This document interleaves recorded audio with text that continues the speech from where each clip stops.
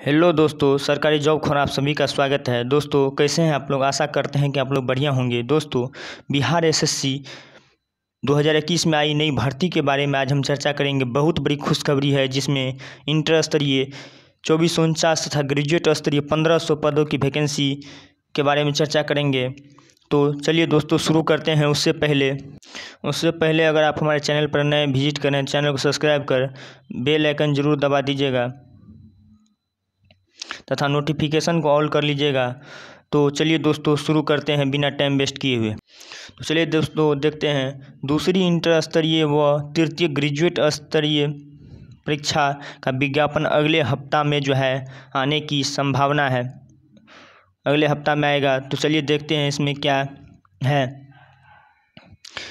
द्वितीय इंटर स्तरीय परीक्षा और तृतीय ग्रेजुएट स्तरीय परीक्षा के लिए बीएसएससी अगले सप्ताह विज्ञापन जारी करेगा। इन दोनों परीक्षाओं के माध्यम से लगभग चार हज़ार पदों पर नियुक्ति होगी। इंटर स्तरीय परीक्षा के लिए अब लगभग एक दर्जन से अधिक विभागों से इंटर सहायक लिपिक, आँसू लिपिक, निम्न वर्गीय लिपिक तथा राजभाषा निर्देशालय के चौबीस सौ उनचास पदों की नियुक्ति के लिए रिक्तियाँ आई है। आयोग के सूत्रों की माने तो तृतीय ग्रेजुएट स्तर परीक्षा के लगभग डेढ़ हज़ार रिक्ति जो है आने की संभावना हालाँकि है। तो तो मालूम है आपको दोस्तों कि इंटर स्तर टेन प्लस टू लेवल पे जो है, टेन प्लस टू लेवल पे चौबीस छब्बीस सौ उनचास पदों पर जो है, वैकेंसी आने वाली है। और तथा इन ग्रेजुएट स्तरीय पे जो है, ग्रेजुएट स्तरीय पे जो है, ग्रेजुएट स्तरीय पे जो है, पंद्रह सौ पदों पर वैकेंसी आने वाली है। तो चलिए देखते हैं। इंटर स्तरीय में जो है कितना वैकेंसी कौन कौन सा पद पर कितना वैकेंसी आने वाला है? तो द्वितीय अंतर्राष्ट्रीय परीक्षा में संभावित रिक्तियों की संख्या, श्रम संसाधन विभाग में सोलह पद, जो आँसू लिपिक के लिए पर्यावरण, वन एवं जलवायु परिवर्तन में आँसू लिपिक के लिए बारह पद, मंत्रिमंडल सचिव वाला राजभाषा सहायक सहायक राजभाषा अनुदेशक के लिए एक पद, उसके बाद जो है स्वास्थ्य विभाग में फैलेरिया निरीक्षण के लिए उनासी पद सॉरी उनासी ने उनहत्तर पद मंत्रिमंडल सचिवालय राजभाषा सहायक अनुदेशक के लिए सात पद, मंत्रिमंडल राज सचिवालय राजभाषा के लिए अनुदेशक के लिए सात पद, श्रम संसाधन विभाग में निम्न वर्गीय लिपिक के लिए चौवन पद, मंत्रिमंडल सचिवालय राजभाषा टंकन सह लिपिक के लिए चार पद, आयोजन निदेशालय गृह विभाग में निम्न वर्गीय लिपिक के लिए उनहत्तर पद, उसके बाद जो है अल्पसंख्यक कल्याण विभाग में निम्न वर्गीय लिपिक के लिए पचहत्तर पद, परिवहन विभाग में निम्न वर्गीय लिपिक के लिए उनासी पद, उसके बाद जो है खान व भूतत्व विभाग निम्न वर्गीय लिपिक के लिए अंठावन पद, नगर विकास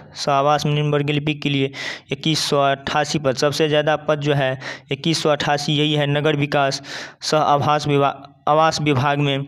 तो इसमें जो है, आप सबसे बड़ा डाउट आता है क्या क्या होने वाला है।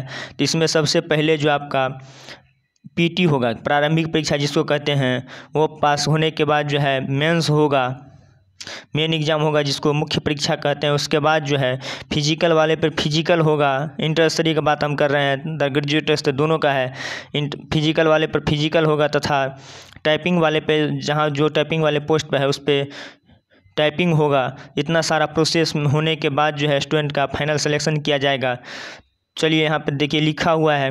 कि प्रारंभिक और मुख्य परीक्षा लेने का प्रावधान है, होगा। और उसके बाद जो है, ज़रूरत के अनुसार टंकन आंसुलेखन फ़िज़िकल जाँच परीक्षा भी ली जाएगी।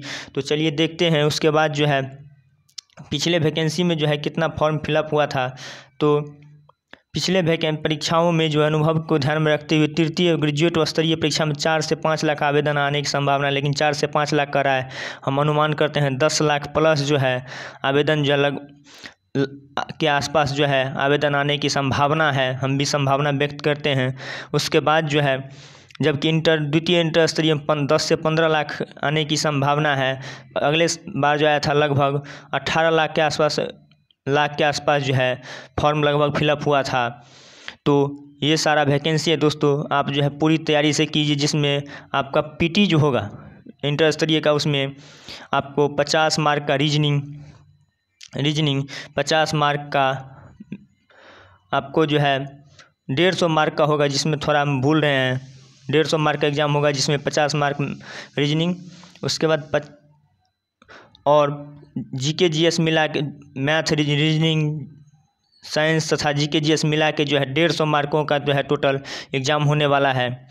तो दोस्तों, आज के वीडियो में बस इतना ही। धन्यवाद।